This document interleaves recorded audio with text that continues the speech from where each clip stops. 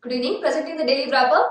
Today market closed on a negative note amid volatile trading session as RBI credit policy fails to boost the sentiment of the street. Nifty closed at 8,516.9 down by 27.15 points. Metal stocks gained as government increased import duty on few varieties of steel.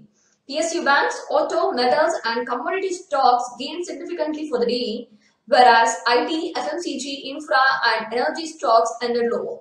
On the stock specific front, Tata Steel, Bank Baroda, Hindalco, PNB and Tech were the top gainers of the day in Nifty, while Idea, Cairn, Hero MotoCorp, GAIL and ONGC were the major losing stocks of the day. Advanced and declines ratio of the Nifty was 27 to 23.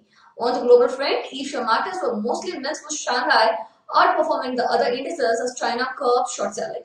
European markets are trading mostly in red after disappointing US data and continuation of sell-off in Greece disappointed the street. Nifty has immediate support around 8460 to 8470 levels and next support is at 8400 to 8410. Immediate resistance is around 8560 to 8570 and next resistance is at 8590 to 8600. Thank you.